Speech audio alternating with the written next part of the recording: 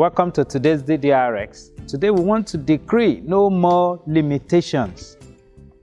Isaiah 54 verse 2 says, Enlarge the place of your tent and let them stretch out the curtains of your dwellings. Do not spare, lengthen your cords and strengthen your stakes. You see, limitations are hindrances or barriers or inhibitions or handicaps or restrictions. And they simply prevent us from maximizing our potential. They hinder our progress.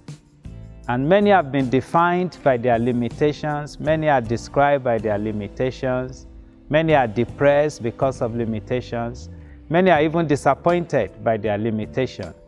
There's a man in the Bible called Jabesh, 1 Chronicles 4 9 to 10.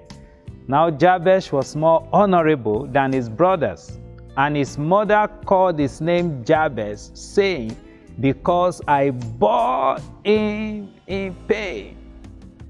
And Jabez called on the God of all Israel, saying, Oh, that you will bless me indeed and enlarge my territory, that your hand will be with me, and that you will keep me from evil, that I may not cause pain. So God granted him what he requested. You see, through prayer, through decrees, Jabesh was able to change his pain. Jabesh was able to overcome his limitations. So I want us to decree together. I want us to say, I decree no more limit, no more limitations of my mind. Lord, transform my mind. I decree walls are breaking, gates are lifted, doors are opening for me.